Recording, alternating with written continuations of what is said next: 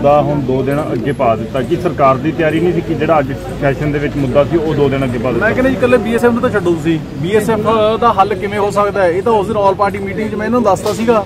ਇਹ ਜਿੰਨੇ ਮਰਜ਼ੀ ਉਹਦੇ ਡਰਾਮੇ ਕਰੀ ਜਾਣ, ਜਿੰਨੇ ਮਰਜ਼ੀ ਲੋਕਾਂ ਨੂੰ ਬੇਵਕੂਫ ਬਣਾਉਣ ਦੀ ਗੱਲਾਂ ਕਰੀ ਜਾਣ, ਜੇ ਬੀਐਸਐਫ ਵਾਲੇ ਇਸ਼ੂ ਦਾ ਚਲੋ ਇਹ ਠੀਕ ਹੈ, ਇਹ ਚੀਜ਼ਾਂ ਜ਼ਰੂਰੀ ਨੇ।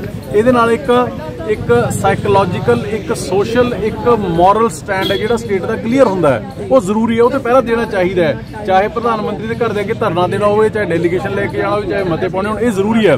ਪਰ ਉਹਦਾ ਇੱਕੋ ਇੱਕ ਤਰੀਕਾ ਜਿਹੜਾ ਮੈਂ ਉਸ ਦਿਨ ਸਮਝਾਇਆ ਸੀਗਾ ਕਿ ਜਦੋਂ ਤੁਹਾਨੂੰ ਲੱਗਦਾ ਕਿ ਸਟੇਟ ਦੇ ਹੱਕਾਂ ਦੇ ਉੱਪਰ ਡਾਕਾ ਵੱਜ ਰਿਹਾ ਹੈ, ਜਿਹੜਾ ਲਾਅ ਐਂਡ ਆਰਡਰ ਹੈ, ਉਹ ਸੈਂਟਰ ਦੇ ਸਬਜੈਕਟ ਸੈਂਟਰ ਦੀ ਲਿਸਟ 'ਚ ਆਉਂਦਾ ਕਿ ਸਟੇਟ ਦੀ ਲਿਸਟ ਦੇ ਵਿੱਚ ਆਉਂਦਾ ਹੈ। ਉਹ ਸਮਝਾਤਾ ਸੀਗਾ। ਇਹਨਾਂ ਨੂੰ ਤੇ ਉਸ ਦਿਨ ਨਵਜੋਤ ਸਿੰਘ ਸਿੱਧੂ ਜੀ ਨੇ ਵੀ, ਮੁੱਖ ਮੰਤਰੀ ਚਰਨਜੀਤ ਚੰਨੀ ਜੀ ਨੇ ਵੀ ਇਸ ਗੱਲ ਦੀ ਮੇਰੀ ਤਾਇਦ ਕੀਤੀ ਸੀ ਵੀ ਜੋ ਅਮ ਜੀ ਨੇ ਕਿਹਾ ਠੀਕ ਹੈ, ਅਸੀਂ ਸੁਪਰੀਮ ਕੋਰਟ ਦੇ ਵਿੱਚ ਜਾਂ ਹਾਈ ਕੋਰਟ ਦੇ ਵਿੱਚ ਇਹਨੂੰ ਚੈਲੰਜ ਕਰਾਂਗੇ। ਉਹ ਤਾਂ ਮਸਲਾ ਸੀ ਜਿਹੜਾ ਇਹਨਾਂ ਨੂੰ ਸਮਝਾਤਾ ਸੀਗਾ। ਪਰ ਅੱਜ ਕੀ ਇਕੱਲਾ ਬੀਐਸਐਫ ਦਾ ਮਸਲਾ ਹੈ? ਪੰਜਾਬ ਦੇ ਨਸ਼ਿਆਂ ਦਾ ਮਸਲਾ ਖਤਮ ਹੋ ਗਿਆ। ਪੰਜਾਬ ਦੇ ਵਿੱਚੋਂ ਬੇਅਦਬੀ ਦੇ ਮੁੱਦਾ ਜਿਹੜਾ ਉਹ ਖਤਮ ਹੋ ਚੁੱਕਿਆ। 3 ਲੱਖ ਕਰੋੜ ਦਾ ਕਰਜ਼ਾ ਖਤਮ ਹੋ ਗਿਆ। ਨਸ਼ੇ ਅੱਜ ਘਰ ਘਰ ਪਹੁੰਚੇ ਪਏ ਨੇ। ਇੰਡਸਟਰੀ ਇਥੋਂ ਛੱਡ ਛੱਡ ਭੱਜ ਰਹੀ ਹੈ। ਪੰਜਾਬ ਦਾ ਹੈਲਥ ਔਰ ਐਜੂਕੇਸ਼ਨ ਸਿਸਟਮ ਹੈ ਜਿਹੜਾ, ਉਹ ਕਲੈਪਸ ਹੋਇਆ ਪਿਆ ਹੈ। ਇਹਨਾਂ ਇਸ਼ੂਜ਼ ਦੇ ਉੱਪਰ ਚਰਚਾ ਕੌਣ ਕਰੂਗਾ? ਉਹ ਸਾਡੀ ਲੋਕਾਂ ਦੀ ਜ਼ਿੰਮੇਵਾਰੀ ਬਣਦੀ ਹੈ, ਪਰ ਇਹ ਡਰਦੇ ਨੇ ਉਹਨਾਂ ਗੱਲਾਂ ਤੋਂ। ਕਿਉਂਕਿ 5 ਸਾਲ ਲੋਕਾਂ ਨੂੰ ਬੇਵਕੂਫ ਬਣਾਉਣ ਤੋਂ ਬਿਨਾ ਕਾਂਗਰਸ ਪਾਰਟੀ ਦੀ ਸਰਕਾਰ ਨੇ ਚਾਹੇ ਪਹਿਲਾਂ ਮੁੱਖ ਮੰਤਰੀ ਕੈਪਟਨ ਅਮਰਿੰਦਰ ਸਿੰਘ ਸੀਗੇ ਤੇ ਚਾਹੇ ਹੁਣ ਚਰਨਜੀਤ ਚੰਨੀ ਨੇ ਇਹਨਾਂ ਨੇ ਲੋਕਾਂ ਨੂੰ ਗੁੰਮਰਾਹ ਕਰਨ ਔਰ ਬੇਵਕੂਫ ਬਣਾਉਣ ਤੋਂ ਇਲਾਵਾ ਹੋਰ ਕੁਝ ਕੀਤਾ ਨਹੀਂ ਹੈਗਾ। ਠੀਕ ਹੈ ਠੀਕ ਹੈ। ਮੁੱਦਾ ਹੁਣ 2 ਦਿਨ ਅੱਗੇ ਪਾ ਦਿੱਤਾ ਕਿ ਸਰਕਾਰ ਦੀ ਤਿਆਰੀ ਨਹੀਂ ਸੀ ਕਿ ਜਿਹੜਾ ਅੱਜ ਸੈਸ਼ਨ ਦੇ ਵਿੱਚ ਮੁੱਦਾ ਸੀ ਉਹ 2 ਦਿਨ ਅੱਗੇ ਪਾ ਮੈਂ ਦਿੱਤਾ। ਕਹਿੰਦਾ ਜੀ ਇਕੱਲੇ ਬੀਐਸਐਫ ਨੂੰ ਤਾਂ ਛੱਡੋ ਤੁਸੀਂ। ਬੀਐਸਐਫ ਦਾ ਹੱਲ ਕਿਵੇਂ ਹੋ ਸਕਦਾ ਹੈ? ਇਹ ਤਾਂ ਉਸ ਦਿਨ ਆਲ ਪਾਰਟੀ ਮੀਟਿੰਗ 'ਚ ਮੈਂ ਇਹਨਾਂ ਨੂੰ ਦੱਸਤਾ ਸੀਗਾ ਇਹ ਜਿੰਨੇ ਮਰਜ਼ੀ ਉਹਦੇ ਡਰਾਮੇ ਕਰੀ ਜਾਣ ਜਿੰਨੇ ਮਰਜ਼ੀ ਲੋਕਾਂ ਨੂੰ ਬੇਵਕੂਫ ਬਣਾਉਣ ਦੀ ਗੱਲਾਂ ਕਰੀ ਜਾਣ ਜੇ ਬੀਐਸਐਫ ਵਾਲੇ ਇਸ਼ੂ ਦਾ ਚਲੋ ਇਹ ਠੀਕ ਹੈ, ਇਹ ਚੀਜ਼ਾਂ ਜ਼ਰੂਰੀ ਨੇ। ਇਹਦੇ ਨਾਲ ਇੱਕ ਇੱਕ ਸਾਈਕੋਲੋਜੀਕਲ ਇੱਕ ਸੋਸ਼ਲ ਇੱਕ ਮੋਰਲ ਸਟੈਂਡ ਹੈ ਜਿਹੜਾ ਸਟੇਟ ਦਾ ਕਲੀਅਰ ਹੁੰਦਾ ਹੈ। ਉਹ ਜ਼ਰੂਰੀ ਹੈ, ਉਹ ਤੇ ਪਹਿਲਾਂ ਦੇਣਾ ਚਾਹੀਦਾ ਹੈ। ਚਾਹੇ ਪ੍ਰਧਾਨ ਮੰਤਰੀ ਦੇ ਘਰ ਦੇ ਅੱਗੇ ਧਰਨਾ ਦੇਣਾ ਹੋਵੇ, ਚਾਹੇ ਡੈਲੀਗੇਸ਼ਨ ਲੈ ਕੇ ਜਾਣਾ ਹੋਵੇ, ਚਾਹੇ ਮਤੇ ਪਾਉਣੇ ਹੋਣ, ਇਹ ਜ਼ਰੂਰੀ ਹੈ। ਪਰ ਉਹਦਾ ਇੱਕੋ ਇੱਕ ਤਰੀਕਾ ਜਿਹੜਾ ਮੈਂ ਉਸ ਦਿਨ ਸਮਝਾਇਆ ਸੀਗਾ ਕਿ ਜਦੋਂ ਤੁਹਾਨੂੰ ਲੱਗਦਾ ਕਿ ਸਟੇਟ ਦੇ ਹੱਕਾਂ ਦੇ ਉੱਪਰ ਡਾਕਾ ਵੱਜ ਰਿਹਾ ਹੈ, ਜਿਹੜਾ ਲਾਅ ਐਂਡ ਆਰਡਰ ਹੈ, ਉਹ ਸੈਂਟਰ ਦੇ ਸਬਜੈਕਟ ਸੈਂਟਰ ਦੀ ਲਿਸਟ 'ਚ ਆਉਂਦਾ, ਕਿ ਸਟੇਟ ਦੀ ਲਿਸਟ ਦੇ ਵਿੱਚ ਆਉਂਦਾ ਹੈ। ਉਹ ਸਮਝਾਤਾ ਸੀਗਾ ਇਹਨਾਂ ਨੂੰ ਤੇ ਉਸ ਦਿਨ ਨਵਜੋਤ ਸਿੰਘ ਸਿੱਧੂ ਜੀ ਨੇ ਵੀ, ਮੁੱਖ ਮੰਤਰੀ ਚਰਨਜੀਤ ਚੰਨੀ ਜੀ ਨੇ ਵੀ ਇਸ ਗੱਲ ਦੀ ਮੇਰੀ ਤਾਇਦ ਕੀਤੀ ਸੀ ਵੀ ਜੋ ਅਮਨ ਜੀ ਨੇ ਕਿਹਾ ਠੀਕ ਹੈ, ਅਸੀਂ ਸੁਪਰੀਮ ਕੋਰਟ ਦੇ ਵਿੱਚ ਜਾਂ ਹਾਈ ਕੋਰਟ ਦੇ ਵਿੱਚ ਇਹਨੂੰ ਚੈਲੰਜ ਕਰਾਂਗੇ। ਉਹ ਤਾਂ ਮਸਲਾ ਸੀ ਜਿਹੜਾ ਇਹਨਾਂ ਨੂੰ ਸਮਝਾਤਾ ਸੀਗਾ। ਪਰ ਅੱਜ ਕੀ ਇਕੱਲਾ ਬੀਐਸਐਫ ਦਾ ਮਸਲਾ ਹੈ? ਪੰਜਾਬ ਦੇ ਨਸ਼ਿਆਂ ਦਾ ਮਸਲਾ ਖਤਮ ਹੋ ਗਿਆ। ਪੰਜਾਬ ਦੇ ਵਿੱਚੋਂ ਬੇਅਦਬੀ ਦੇ ਮੁੱਦਾ ਜਿਹੜਾ ਉਹ ਖਤਮ ਹੋ ਚੁੱਕਿਆ। 3 ਲੱਖ ਕਰੋੜ ਦਾ ਕਰਜ਼ਾ ਖਤਮ ਹੋ ਗਿਆ। ਨਸ਼ੇ ਅੱਜ ਘਰ ਘਰ ਪਹੁੰਚੇ ਪਏ ਨੇ। ਇੰਡਸਟਰੀ ਇਥੋਂ ਛੱਡ ਛੱਡ ਭੱਜ ਰਹੀ ਹੈ। ਪੰਜਾਬ ਦਾ ਹੈਲਥ ਔਰ ਐਜੂਕੇਸ਼ਨ ਸਿਸਟਮ ਹੈ ਜਿਹੜਾ, ਉਹ ਕਲੈਪਸ ਹੋਇਆ ਪਿਆ ਹੈ। ਇਹਨਾਂ ਇਸ਼ੂਜ਼ ਦੇ ਉੱਪਰ ਚਰਚਾ ਕੌਣ ਕਰੂਗਾ? ਉਹ ਸਾਡੀ ਲੋਕਾਂ ਦੀ ਜ਼ਿੰਮੇਵਾਰੀ ਬਣਦੀ ਹੈ, ਪਰ ਇਹ ਡਰਦੇ ਨੇ ਉਹਨਾਂ ਗੱਲਾਂ ਤੋਂ, ਕਿਉਂਕਿ 5 ਸਾਲ ਲੋਕਾਂ ਨੂੰ ਬੇਵਕੂਫ ਬਣਾਉਣ ਤੋਂ ਬਿਨਾ ਕਾਂਗਰਸ ਪਾਰਟੀ ਦੀ ਸਰਕਾਰ ਨੇ ਚਾਹੇ ਪਹਿਲਾਂ ਮੁੱਖ ਮੰਤਰੀ ਕੈਪਟਨ ਅਮਰਿੰਦਰ ਸਿੰਘ ਸੀਗੇ ਤੇ ਚਾਹੇ ਹੁਣ ਚਰਨਜੀਤ ਚੰਨੀ ਨੇ ਇਹਨਾਂ ਨੇ ਲੋਕਾਂ ਨੂੰ ਗੁੰਮਰਾਹ ਕਰਨ ਔਰ ਬੇਵਕੂਫ ਬਣਾਉਣ ਤੋਂ ਇਲਾਵਾ ਹੋਰ ਕੁਝ ਕੀਤਾ ਨਹੀਂ ਹੈਗਾ। ਠੀਕ ਹੈ ਠੀਕ ਹੈ। ਮੁੱਦਾ ਹੁਣ 2 ਦਿਨ ਅੱਗੇ ਪਾ ਦਿੱਤਾ ਕਿ ਸਰਕਾਰ ਦੀ ਤਿਆਰੀ ਨਹੀਂ ਸੀ ਕਿ ਜਿਹੜਾ ਅੱਜ ਸੈਸ਼ਨ ਦੇ ਵਿੱਚ ਮੁੱਦਾ ਸੀ ਉਹ 2 ਦਿਨ ਅੱਗੇ ਪਾ ਦਿੱਤਾ। ਮੈਂ ਕਹਿੰਦਾ ਜੀ ਇਕੱਲੇ ਬੀਐਸਐਫ ਨੂੰ ਤਾਂ ਛੱਡੋ ਤੁਸੀਂ। ਬੀਐਸਐਫ ਦਾ ਹੱਲ ਕਿਵੇਂ ਹੋ ਸਕਦਾ ਹੈ? ਇਹ ਤਾਂ ਉਸ ਦਿਨ ਆਲ ਪਾਰਟੀ ਮੀਟਿੰਗ 'ਚ ਮੈਂ ਇਹਨਾਂ ਨੂੰ ਦੱਸਤਾ ਸੀਗਾ। ਇਹ ਜਿੰਨੇ ਮਰਜ਼ੀ ਉਹਦੇ ਡਰਾਮੇ ਕਰੀ ਜਾਣ ਜਿੰਨੇ ਮਰਜ਼ੀ ਲੋਕਾਂ ਨੂੰ ਬੇਵਕੂਫ ਬਣਾਉਣ ਦੀ ਗੱਲਾਂ ਕਰੀ ਜਾਣ ਜੇ ਬੀਐਸਐਫ ਵਾਲੇ ਇਸ਼ੂ ਦਾ ਚਲੋ ਇਹ ਠੀਕ ਹੈ ਇਹ ਚੀਜ਼ਾਂ ਜ਼ਰੂਰੀ ਨੇ।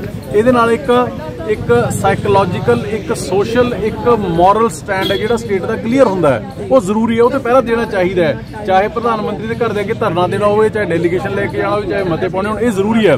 ਪਰ ਉਹਦਾ ਇੱਕੋ ਇੱਕ ਤਰੀਕਾ ਜਿਹੜਾ ਮੈਂ ਉਸ ਦਿਨ ਸਮਝਾਇਆ ਸੀਗਾ ਕਿ ਜਦੋਂ ਤੁਹਾਨੂੰ ਲੱਗਦਾ ਕਿ ਸਟੇਟ ਦੇ ਹੱਕਾਂ ਦੇ ਉੱਪਰ ਡਾਕਾ ਵੱਜ ਰਿਹਾ ਹੈ, ਜਿਹੜਾ ਲਾਅ ਐਂਡ ਆਰਡਰ ਹੈ, ਉਹ ਸੈਂਟਰ ਦੇ ਸਬਜੈਕਟ ਸੈਂਟਰ ਦੀ ਲਿਸਟ 'ਚ ਆਉਂਦਾ ਕਿ ਸਟੇਟ ਦੀ ਲਿਸਟ ਦੇ ਵਿੱਚ ਆਉਂਦਾ ਉਹ ਸਮਝਾਤਾ ਸੀਗਾ। ਇਹਨਾਂ ਨੂੰ ਤੇ ਉਸ ਦਿਨ ਨਵਜੋਤ ਸਿੰਘ ਸਿੱਧੂ ਜੀ ਨੇ ਵੀ ਮੁੱਖ ਮੰਤਰੀ ਚਰਨਜੀਤ ਚੰਨੀ ਜੀ ਨੇ ਵੀ ਇਸ ਗੱਲ ਦੀ ਮੇਰੀ ਤਾਇਦ ਕੀਤੀ ਸੀ ਜੋ ਅਮ ਜੀ ਨੇ ਕਿਹਾ ਠੀਕ ਹੈ, ਅਸੀਂ ਸੁਪਰੀਮ ਕੋਰਟ ਦੇ ਵਿੱਚ ਜਾਂ ਹਾਈ ਕੋਰਟ ਦੇ ਵਿੱਚ ਇਹਨੂੰ ਚੈਲੰਜ ਕਰਾਂਗੇ। ਉਹ ਤਾਂ ਮਸਲਾ ਸੀ ਜਿਹੜਾ ਇਹਨਾਂ ਨੂੰ ਸਮਝਾਤਾ ਸੀਗਾ। ਪਰ ਅੱਜ ਕੀ ਇਕੱਲਾ ਬੀਐਸਐਫ ਦਾ ਮਸਲਾ ਹੈ? ਪੰਜਾਬ ਦੇ ਨਸ਼ਿਆਂ ਦਾ ਮਸਲਾ ਖਤਮ ਹੋ ਗਿਆ। ਪੰਜਾਬ ਦੇ ਵਿੱਚੋਂ ਬੇਅਦਬੀ ਦੇ ਮੁੱਦਾ ਜਿਹੜਾ ਉਹ ਖਤਮ ਹੋ ਚੁੱਕਿਆ। 3 ਲੱਖ ਕਰੋੜ ਦਾ ਕਰਜ਼ਾ ਖਤਮ ਹੋ ਗਿਆ। ਨਸ਼ੇ ਅੱਜ ਘਰ ਘਰ ਪਹੁੰਚੇ ਪਏ ਨੇ। ਇੰਡਸਟਰੀ ਇਥੋਂ ਛੱਡ ਛੱਡ ਭੱਜ ਰਹੀ ਹੈ। ਪੰਜਾਬ ਦਾ ਹੈਲਥ ਔਰ ਐਜੂਕੇਸ਼ਨ ਸਿਸਟਮ ਹੈ ਜਿਹੜਾ, ਉਹ ਕਲੈਪਸ ਹੋਇਆ ਪਿਆ ਹੈ। ਇਹਨਾਂ ਇਸ਼ੂਜ਼ ਦੇ ਉੱਪਰ ਚਰਚਾ ਕੌਣ ਕਰੂਗਾ? ਉਹ ਸਾਡੀ ਲੋਕਾਂ ਦੀ ਜ਼ਿੰਮੇਵਾਰੀ ਬਣਦੀ ਹੈ, ਪਰ ਇਹ ਡਰਦੇ ਨੇ ਉਹਨਾਂ ਗੱਲਾਂ ਤੋਂ, ਕਿਉਂਕਿ 5 ਸਾਲ ਲੋਕਾਂ ਨੂੰ ਬੇਵਕੂਫ ਬਣਾਉਣ ਤੋਂ ਬਿਨਾਂ ਕਾਂਗਰਸ ਪਾਰਟੀ ਦੀ ਸਰਕਾਰ ਨੇ ਚਾਹੇ ਪਹਿਲਾਂ ਮੁੱਖ ਮੰਤਰੀ ਕੈਪਟਨ ਅਮਰਿੰਦਰ ਸਿੰਘ ਸੀਗੇ ਤੇ ਚਾਹੇ ਹੁਣ ਚਰਜੀਤ ਚੰਨੀ ਨੇ ਇਹਨਾਂ ਨੇ ਲੋਕਾਂ ਨੂੰ ਗੁੰਮਰਾਹ ਕਰਨ ਬੇਵਕੂਫ ਬਣਾਉਣ ਤੋਂ ਇਲਾਵਾ ਹੋਰ ਕੁਝ ਕੀਤਾ ਨਹੀਂ ਹੈਗਾ।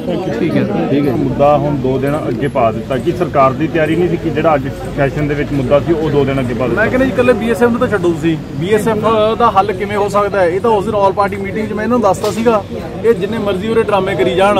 ਜਿੰਨੇ ਮਰਜ਼ੀ ਲੋਕਾਂ ਨੂੰ ਬੇਵਕੂਫ ਬਣਾਉਣ ਦੀ ਗੱਲਾਂ ਕਰੀ ਜਾਣਾ, ਜੇ ਬੀਐਸਐਫ ਵਾਲੇ ਇਸ਼ੂ ਦਾ ਚਲੋ ਇਹ ਠੀਕ ਹੈ, ਇਹ ਚੀਜ਼ਾਂ ਜ਼ਰੂਰੀ ਨੇ। ਇਹਦੇ ਨਾਲ ਇੱਕ ਇੱਕ ਸਾਈਕੋਲੋਜੀਕਲ ਇੱਕ ਸੋਸ਼ਲ ਇੱਕ ਮੋਰਲ ਸਟੈਂਡ ਹੈ ਜਿਹੜਾ ਸਟੇਟ ਦਾ ਕਲੀਅਰ ਹੁੰਦਾ ਹੈ। ਉਹ ਜ਼ਰੂਰੀ ਹੈ, ਉਹ ਤੇ ਪਹਿਲਾਂ ਦੇਣਾ ਚਾਹੀਦਾ ਹੈ। ਚਾਹੇ ਪ੍ਰਧਾਨ ਮੰਤਰੀ ਦੇ ਘਰ ਦੇ ਅੱਗੇ ਧਰਨਾ ਦੇਣਾ ਹੋਵੇ, ਚਾਹੇ ਡੈਲੀਗੇਸ਼ਨ ਲੈ ਕੇ ਜਾਣਾ ਹੋਵੇ, ਚਾਹੇ ਮਤੇ ਪਾਉਣੇ ਹੋਣ, ਇਹ ਜ਼ਰੂਰੀ ਹੈ। ਪਰ ਉਹਦਾ ਇੱਕੋ ਇੱਕ ਤਰੀਕਾ ਜਿਹੜਾ ਮੈਂ ਉਸ ਦਿਨ ਸਮਝਾਇਆ ਸੀਗਾ ਕਿ ਜਦੋਂ ਤੁਹਾਨੂੰ ਲੱਗਦਾ ਕਿ ਸਟੇਟ ਦੇ ਹੱਕਾਂ ਦੇ ਉੱਪਰ ਡਾਕਾ ਵੱਜ ਰਿਹਾ ਹੈ, ਜਿਹੜਾ ਲਾਅ ਐਂਡ ਆਰਡਰ ਹੈ, ਉਹ ਸੈਂਟਰ ਦੇ ਸਬਜੈਕਟ ਸੈਂਟਰ ਦੀ ਲਿਸਟ 'ਚ ਆਉਂਦਾ ਹੈ ਸਟੇਟ ਦੀ ਲਿਸਟ ਦੇ ਵਿੱਚ ਆਉਂਦਾ ਹੈ। ਉਹ ਸਮਝਾਤਾ ਸੀਗਾ ਇਹਨਾਂ ਨੂੰ ਤੇ ਉਸ ਦਿਨ ਨਵਜੋਤ ਸਿੰਘ ਸਿੱਧੂ ਜੀਆਂ ਨੇ ਵੀ, ਮੁੱਖ ਮੰਤਰੀ ਚਰਨਜੀਤ ਚੰਨੀ ਜੀ ਨੇ ਵੀ ਇਸ ਗੱਲ ਦੀ ਮੇਰੀ ਤਾਇਦ ਕੀਤੀ ਸੀ ਵੀ ਜੋ ਅਮਨ ਜੀ ਨੇ ਕਿਹਾ ਠੀਕ ਹੈ, ਅਸੀਂ ਸੁਪਰੀਮ ਕੋਰਟ ਦੇ ਵਿੱਚ ਜਾਂ ਹਾਈ ਕੋਰਟ ਦੇ ਵਿੱਚ ਇਹਨੂੰ ਚੈਲੰਜ ਕਰਾਂਗੇ। ਉਹ ਤਾਂ ਮਸਲਾ ਸੀ ਜਿਹੜਾ ਇਹਨਾਂ ਨੂੰ ਸਮਝਾਤਾ ਸੀਗਾ। ਪਰ ਅੱਜ ਕੀ ਇਕੱਲਾ ਬੀਐਸਐਫ ਦਾ ਮਸਲਾ ਹੈ? ਪੰਜਾਬ ਦੇ ਨਸ਼ਿਆਂ ਦਾ ਮਸਲਾ ਖਤਮ ਹੋ ਗਿਆ। ਪੰਜਾਬ ਦੇ ਵਿੱਚੋਂ ਬੇਅਦਬੀ ਦੇ ਮੁੱਦਾ ਜਿਹੜਾ ਉਹ ਖਤਮ ਹੋ ਚੁੱਕਿਆ। 3 ਲੱਖ ਕਰੋੜ ਦਾ ਕਰਜ਼ਾ ਖਤਮ ਹੋ ਗਿਆ। ਨਸ਼ੇ ਅੱਜ ਘਰ ਘਰ ਪਹੁੰਚੇ ਪਏ ਨੇ। ਇੰਡਸਟਰੀ ਇਥੋਂ ਛੱਡ ਛੱਡ ਭੱਜ ਰਹੀ ਹੈ। ਪੰਜਾਬ ਦਾ ਹੈਲਥ ਔਰ ਐਜੂਕੇਸ਼ਨ ਸਿਸਟਮ ਹੈ ਜਿਹੜਾ, ਉਹ ਕਲੈਪਸ ਹੋਇਆ ਪਿਆ ਹੈ।